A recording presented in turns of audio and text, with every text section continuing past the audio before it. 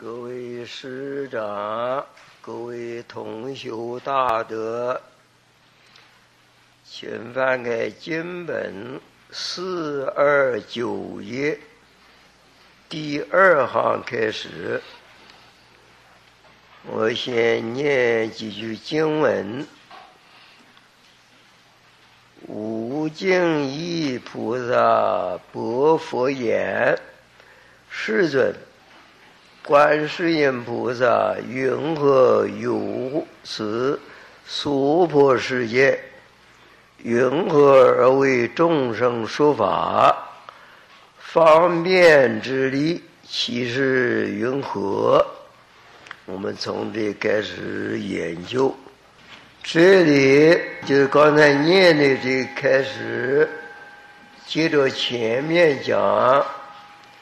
观世音菩萨到这个世间来救苦救难，也呢，这个有所求的都能够答应，就是有求必应。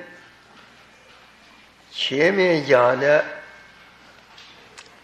这个都是啊，从浅处讲。前主讲呢，就是虽然把眼前的那个苦难救了，那么一般所求的这个事情啊，比如说求男求女，都能求得到。有的求不到啊，是因为他本人呢，呃，这个有些障碍。那么一般的说，除了本人没有障碍的话，都求得到。但是那个求的，是普通的，求到是普通的男子女子。当然，虽是普通的呀，也是一个正常的人呐。但是在这个经里面讲，只求那不够的。应该这个观世音菩萨给他这个福德智慧之男，端正有相之女。那么由这样看起来，从这个救苦救难到了有求必应的这个啊这些呃观世音菩萨。给众生的呃这个感应呢，再往前深处讲，前面都是讲浅处的，往深处讲啊，就这个四种习谈来讲，四种习谈呢，到刚才念的那开始讲啊。就第一的习谈，第一个第一个意义啊，那就是呃讲的真实法了。前面呢都是讲的方便法，真实法怎么呢？真实法就是要真正的要断火了，断火。那个真法才显示出来。真法是什么？就是我们每一个人的本有的这个自信，就是本性。人人都有本性，我们人人都有本性呐，被那个无名烦恼把它遮蔽起来了。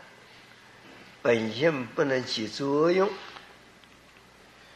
无名烦恼就是因为众生不了解自己有真如本性，就是不觉悟，不觉悟就是无名，有无名才有种种的烦恼，生老病死，在世间那。这个起祸造业受报，这都是烦恼带来的一些这些苦果啊。那么要要在世间呢，不不有种种的灾难，包括前面呢讲的啊那些地那些火灾、水灾、风灾，还有一般性的那些灾难。那些灾难，换句话就是由无名所起的那些烦恼啊，嗯，那个才带来的，就起火啊，起了火啊，然后造业，造的恶业，造作业，然后就是说苦报。那些天灾人祸都是苦报啊，是果啊。那么换句话说。我们任何一个人，不管是哪一种人，要想这个没有这些灾难呢，那就要讲究这个真实的法了。真实的法就要把这个这个无名烦恼把它去掉。无名什么有，就天台上讲有。这个烦恼有，呃，也就惑了，惑就是迷惑的惑。有这个见识惑、尘沙惑、无名惑，叫三惑。三惑都是由无名起来的。要没有这些灾难的话，就要断惑。前面讲的啊。把眼前这些灾难那个免除啊，那就是没有断火了，就是复活，把火扶得住了。扶的是什么呢？扶的就是那个见识火、尘沙火、无名那些那些火的种子啊，把种子扶压服下去，那么就说是那个灾难免除了。但是那个火的种子没有断除的话，再过一时候啊，它又有灾难来了。那个种子在起现行，啊，就像那个那个无辜的种子啊，啊，发芽生长了。所以这个前面讲的就是，啊，没有彻底，只是把那个活的种子把它压服下去。那么现在要讲的啊，要断除断除这个烦恼啊，就把活的种子把它断除掉。活呢，刚才讲的就三种啊。那么最最这个粗浅的，就是见识火。见识火详细讲也很多。那么最严重的呀，就是贪嗔痴啊，贪嗔痴是这个这个活的是叫众生的这个生死不断，到了时间来这个灾难不断，就是这个见死活了。所以这个在这里从这里开始就讲要。最根本的办法就是断见识活，断了见识活，那就是在六六道就出去了。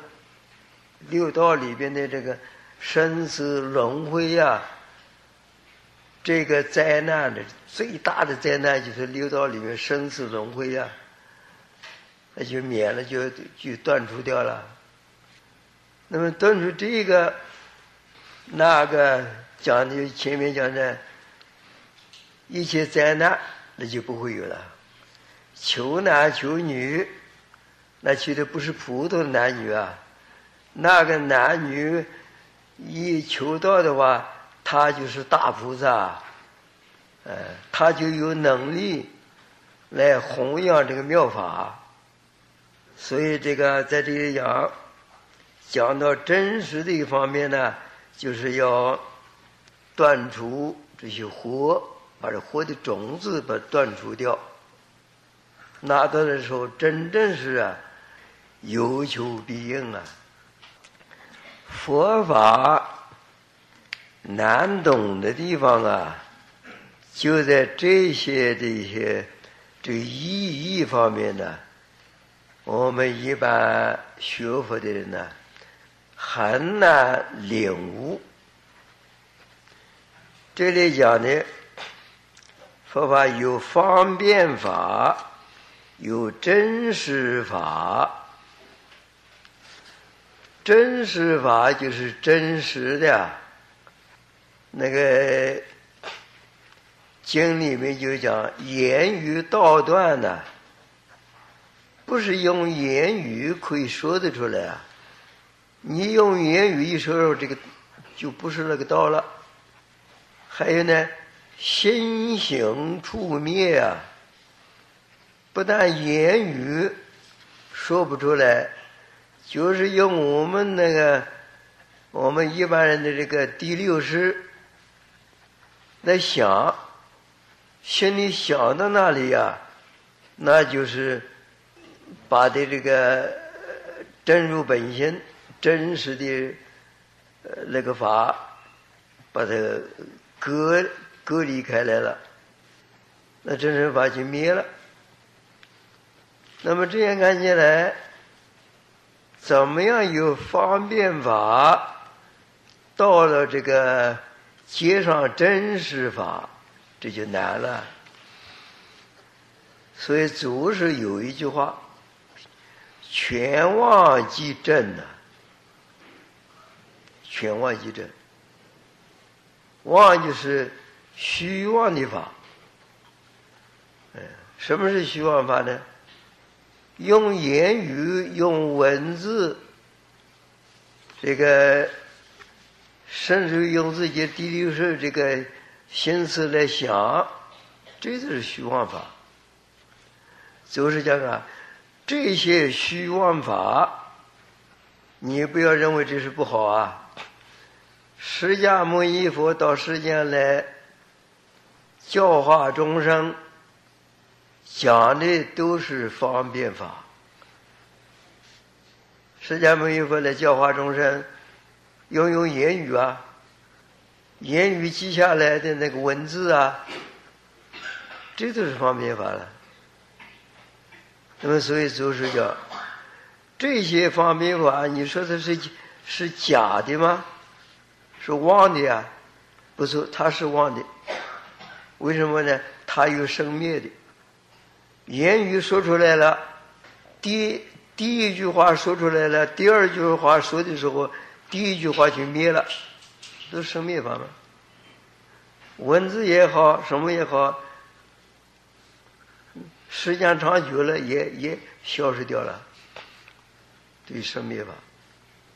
那么就是讲，这个既然佛道世间来，必然要用方便法，用言语、用文字、用这些讲话。讲话从意思里面，意思就是第六识啊。所以说，全忘即真的。这些方便法所表现出的这些，呃，这些让人了解的这些这些法了，言语文字啊这些，全部说起来就是真法。这句话，我们就要在这这句话里面自己悟了。那么全忘即真。这是要要悟了。先讲这个观世音菩萨名号。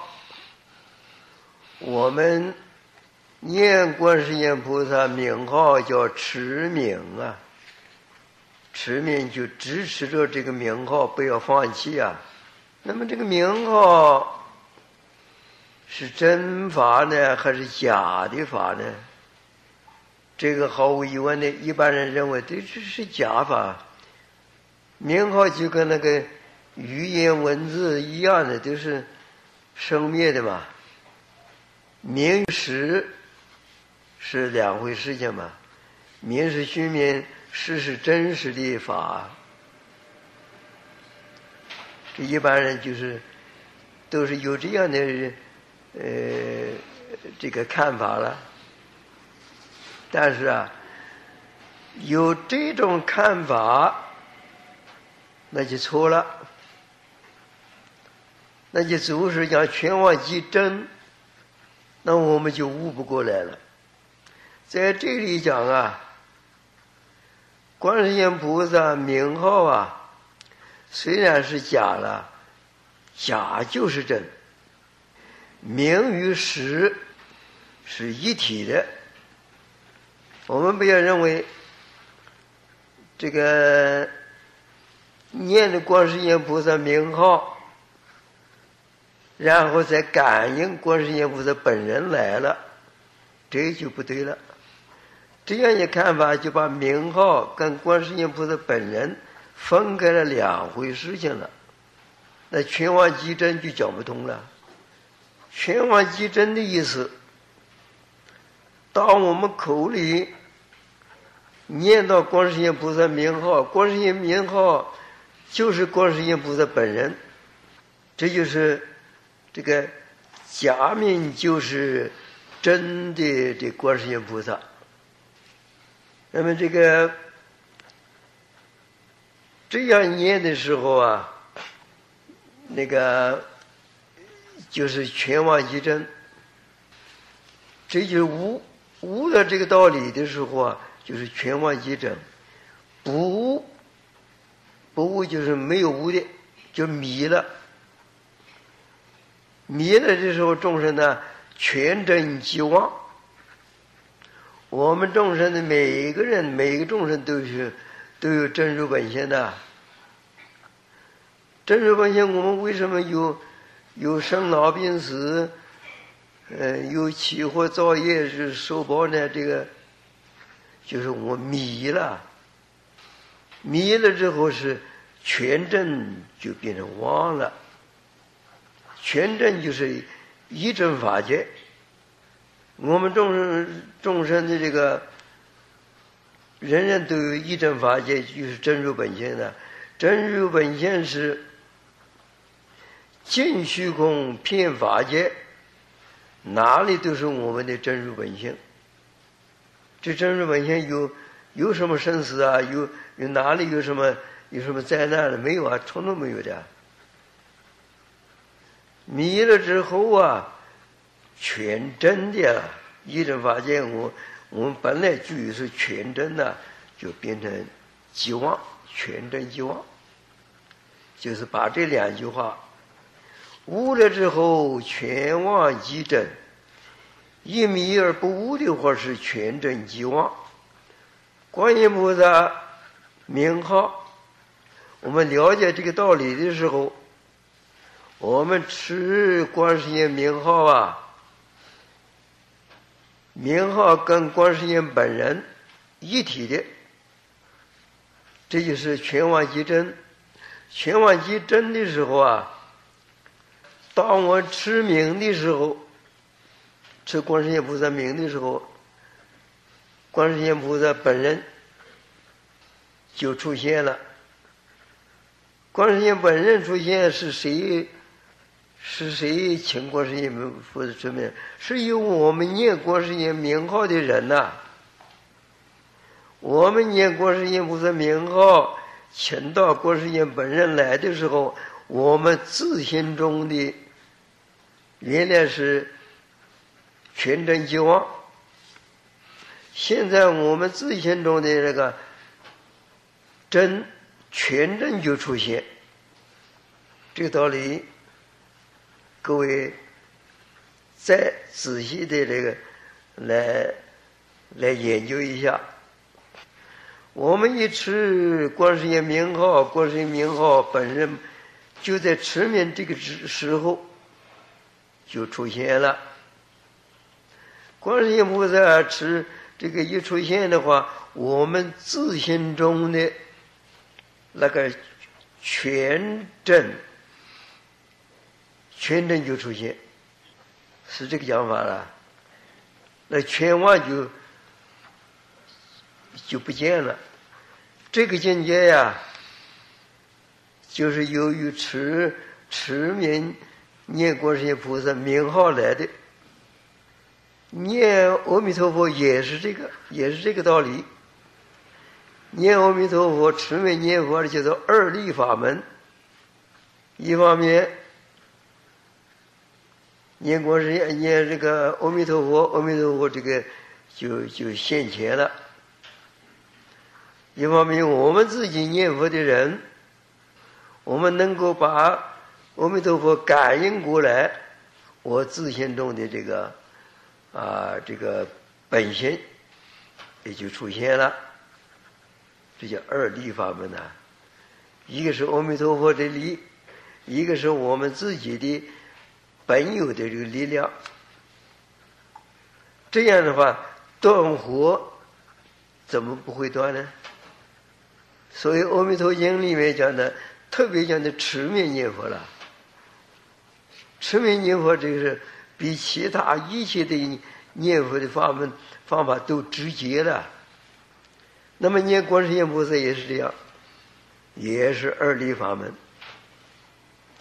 观世音菩萨本人来了是一种力量，我们自信中啊，把原来的那个妄心呐伏下去，真心再起起来，这个二力法门。这个当然能够断火，但是我们一想啊，这个境界呀，要确实懂得这个道理，真下功夫的一念呢，就能有这个啊，有这个到这个境界里。可是我们末法众生呢，末法时代众生啊，我们的众生呢，杂念太多了。杂念就是妄念太多了，能够到这种境界，观世音菩萨力力量，我们自信中这个本有的那个那个自信的力量，观音菩萨是真的力量是来了，我们自信中的这个力量啊，还是被那个杂念呢，把它把它障碍去了。那个真的这个本性呐，真意啊，还不那么容易出来的。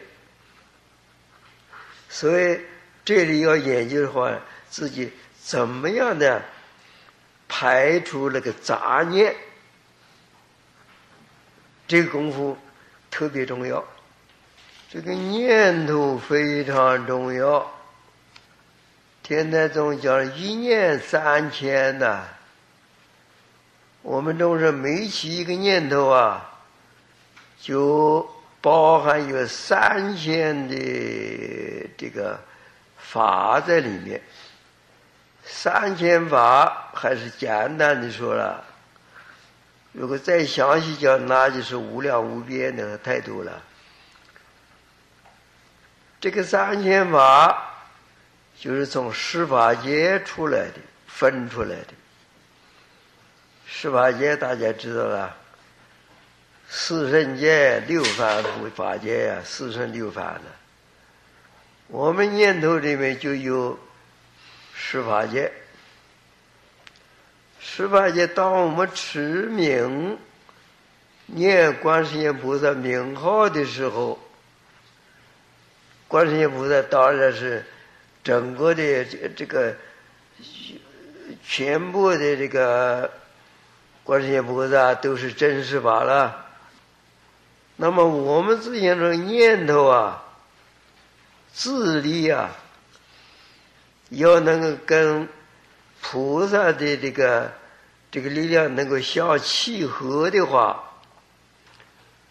那我们就在念观世音菩萨名号的这个时候，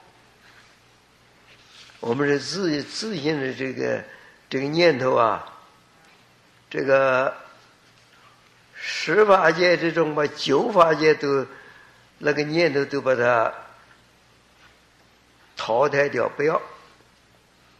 剩下的这个佛法界，这个佛法界就观世音菩萨来讲，观世音是过去已经是成佛，现在虽然是菩萨身份，他实质上就是佛。以菩萨名这个这个等级来讲，他只距离佛是只差一。所以，我们念菩萨名号的时候，我们自心中啊，放弃那个九法界，让这个佛法界这个佛的念头从自信中出现。只要把其余的那些九法界呀，把它扶下去。自信中的这个佛法界就就出现，这就能够啊，这个一念相应，在一念中的那个相应呢，就佛来讲，一念相应一念佛。我们在这里讲观世音菩萨，跟菩萨一念相应呢，就是跟观世音菩萨能够相应。因此啊，我们在念观世音菩萨名号的时候，不要有任何妄念起来。妄念也可以说是杂念，一切杂念不起来。只要一提起这个菩萨名号，整个的这个心呐，没有其他的妄念呐，这一颗真心。跟菩萨能够互相感应，这个就能够断火。这里无尽意菩萨问佛，世尊就称呼释迦牟尼佛。他说：“观世音菩萨，云何有此娑婆世界？菩萨为什么？”到这个娑婆世界来，云何而为众生说法？这是第二个问题。第三个问题，方便之理，其是云何？那么这三个问题啊，由此娑婆世界啊。这是问观世音菩萨这个身呐，这个身体啊，就是观世音菩萨深夜了，哎，他怎么能够到到这个娑婆世界来？云何而为众生说法？说法要用口啊，这是口业啊。方便之力，一切的方便法都是从这个心里出来的。心就是心意。就我们凡夫众生讲，这个意就是第六识。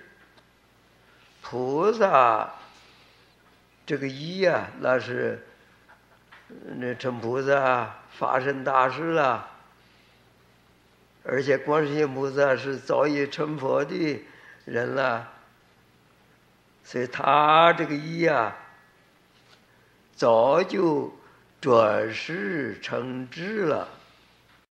他这个意就是由这个这个转成智慧了，嗯。凡夫众生是第六识分别心最重的，转世成智啊，他就是妙观察智了。所以就是包括问这三句啊，就是观世音菩萨身口意三业，就菩萨来讲，身口意三业啊，都是清净的呀。三业都没有任何缺失啊，却是欠缺的呀，没有欠缺的了，没有任何过失啊。那么我们念观世音菩萨名号的人，我们要想得到观世音菩萨来应，我们有感菩萨有应的话，我们在持名的时候啊，就要不杂的那个妄念。棉袄一吃起来，就是，就是我们这个念头啊，就跟菩萨的那个那个念头一样，纯正无妄，纯正的没有一点一一丝一毫的妄念没有啊。那么这个时候，我们念佛就这个这个念头一提起来的时候。不要掺杂那些妄念，不要掺杂妄念，怎么办得到呢？那就是说，这个儒家的经典讲的重要啊，念兹在兹啊。什么念兹在兹呢？嗯，儒家讲的经典，儒家儒家说，你念哪一句经？你的念头是在经文上面，专心一念在经文上面呢，其他的妄念就就会没有了。以这个道理的时候，我们念兹在兹，念观世音菩萨名号，我们那个一个念头就在，只要把这个念头啊，这个。全部放在菩萨这个这个名名号上面，其他的杂念就，哎，就自然的就相互下去了。久而久之，相互的久了，那个妄念就断掉了。所以是持。菩萨名号的话，只要念字在兹的时候，妄念就没有，妄念没有，这个时候啊，就是实相，实相就是真实法，两种力量，自力菩萨的力量都是实相，这个境界你看看。分析这个道理，我们才能悟得过来。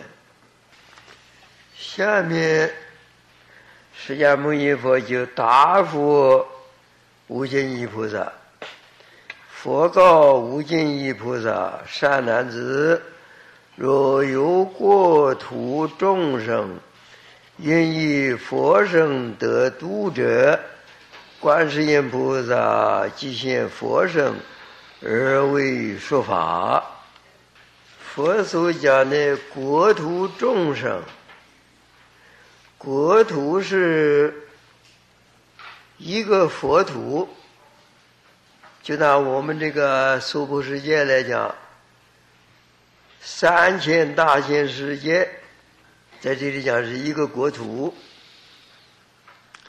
众生呢，就是在。三千大千世界里的那些九界的众生，十八界，三千大千世界有一个国头里有十八界啊。十八界除了佛，下面就是九法界众生呢。除了佛，九法界的都叫做众生。国土是的，是指的，呃，一个三千大千世界，九法界的众生，个九法界的众生啊，是这个正报，正报就是那个众生的本身。这个三千大千世界的一个国土，啊，这个就是一有十法界。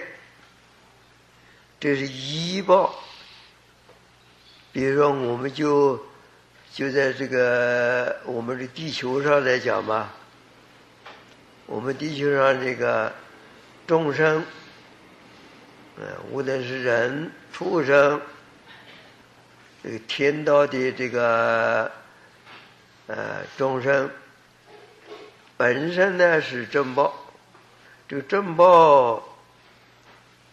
应应该，这什么你生存在哪里呀？要有大地，这就是医报，山河大地呀，来来这个承载了众生，众生就依靠山河大地啊，才能够生存在世间。所以那些，呃，山河大地叫依报，依是众生依靠这个报。这个正报与依报啊，有最密切的关系的，不是分开了两回事情。也可以说正报依报是一体的。就唯识学来讲。这个正报、医报都是在第八识里面的。第八识有见分、相分，那个医报就是第八识的相分。像是有形象的，能够显出来这个形象。有第八识这个有形象的这个这些种子啊。能够显出来，就是山河大地。山河大地有众生呐，共同的第八识相分显示出来的。这样看起来，山河大地就是我们每个众生的相分呐，都在我们的第八识里面呢。我们这个人，我们众生。是五蕴和合的，有色法，有心法。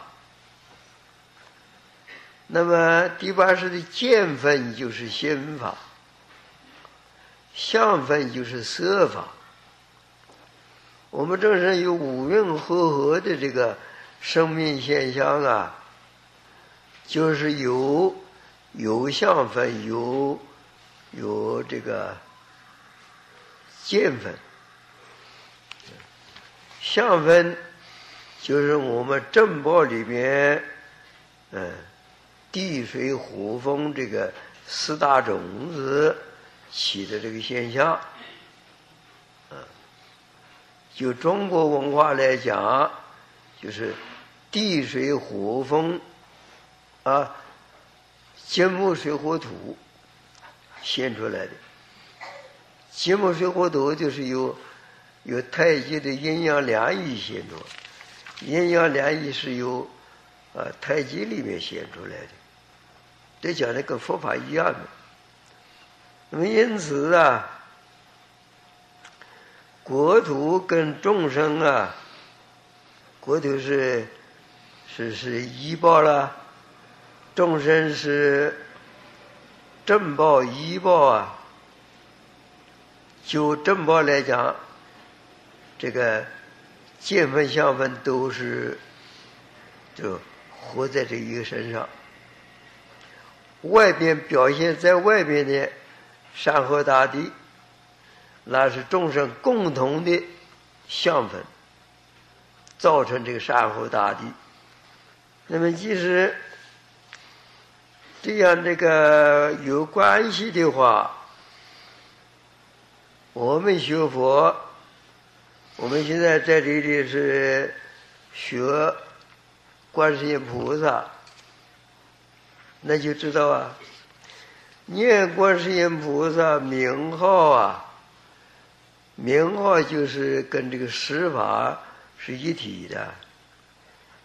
念念观世音菩萨名号，念念的就把那个我们的医报在那里转变，包括我们正报当中的相分，外面众生共同形成的那个山河大地，这个我们持观世音菩萨名号啊。我们本身的见分相分，外面共同的这个相分，就在那里转变呢。念观世音菩萨，服了这个自心中的那些活业的这些烦恼啊，种子烦活下去啊，那是。能够复活，可以小灾小难的可以避免，大的这个生死的灾难呢，因为种子没有断除，不能够这个避免的。在这里讲持菩萨的名号啊，就要断种断那个。那个烦恼种子，得那种子啊，就是在这里，一持名号就在那个那个医报就在那转变，本身的医报，工业的医报都在转变呢。这是个别的业了，个别的业，外面山河大地。本身在这个转呢，那个外面也在转，一般人看不出来，看不出来啊，这是反复，反复的眼看不出来，正了果的人就看出来。山河大地是共业，就共业啊，那是共相啊，共同的这个。这个这个业相啊，实际上就拿这个人人间的众生来讲吧，哪一个人出生到这世间来了，那个共业啊，那个共相啊，有添加了一一份了。哪一个人死了？他那个一份那个相啊，又带走了，带到哪里去？他到这个出生道里边，就带到出生道的那个相。出生道像，这个像跟我们人间所见的像不同啊。我们人家看那个像是，你像这个在台上那个那个大肚山，我们看得到啊。那个蚂蚁，那个畜生他看不到啊，所以他建立像跟我们人道建立像不同啊。所以共相，任何一个众生离开了这个这个地区、这个世间，这个世间的共相就随着有那个人带走了。那么另外有个众生来到这个世间来了，哎。他的功效有增加一分的，这个非常维系的。我们凡夫众生的眼光呢，绝对看不出来。彼得正果，他有那个妙观察智，他才看得出来。所以说这里呀，我们知道啊，我们持。观世音菩萨名号啊，念念的就在那里转变。只要不杂妄念的话，不杂妄念很简单，就是念字在字，念头在符号上面的全部的念头就在佛号上面呢，这就是纯粹的这个啊这个经念。这个经念一出现，加上这个菩萨的这个力量，就把这个境界呀转，随时在那转。这就是平常啊，不是临时啊。嗯，临时当然也重要了，最重要让他有力量的话，能够转变的，能够确实能够有发生这个作用的话，平时就要在那里转。这个国土有四种。西方极乐世界这个四种国土：凡圣同居土、方便有余土、十报庄严土、长吉光净土，四种土啊，那是极乐世界的。在我们娑婆世界呢，也有这四种土，名词一样。但是与极乐世界不同的呢，极乐世界凡圣同居土啊，凡夫就是人天都是凡夫了，跟那些大菩萨、跟佛、跟阿弥陀佛都能同在一土啊。这是娑婆世界凡圣同居土办不到的啊。不同的地方，因为即使四土都不相同的四土众生呢，这个他的这个境界也不同。观世音菩萨就要现出种种的方便力量来度化这些这个众生。下面讲。愿以佛身得度者，观世音菩萨即现佛身而为说法。这是在这个愿以佛身得度的啊，这是在这个十宝庄严图、凡圣同居图，就是纯粹凡夫众生；方便有余图是断了见思惑的那个。声闻缘觉，他是方便有余土，他在那里住。十宝庄严土啊，大菩萨正到法身了，正到法身的时候啊，他这个呃还没有还没有成佛。这个时候啊，他要成佛的时候啊。这个就要观世音菩萨来度化他，要成佛，观世音菩萨要现这个佛身，现的佛的身份呢，来度这个大菩萨，在十宝庄严图里面度化这个大菩萨，啊，能叫他能够成佛。所以说，这样应该以佛身的度者。就在十宝庄严图那个大菩萨，他要成佛啊，还差一点点那个功夫，用不上，需要观世音菩萨来度化他。观世音菩萨现的佛身，啊，就能够把它度化到成佛。所以是观音菩萨现佛身而为说法。我们今天就讲到这里为止。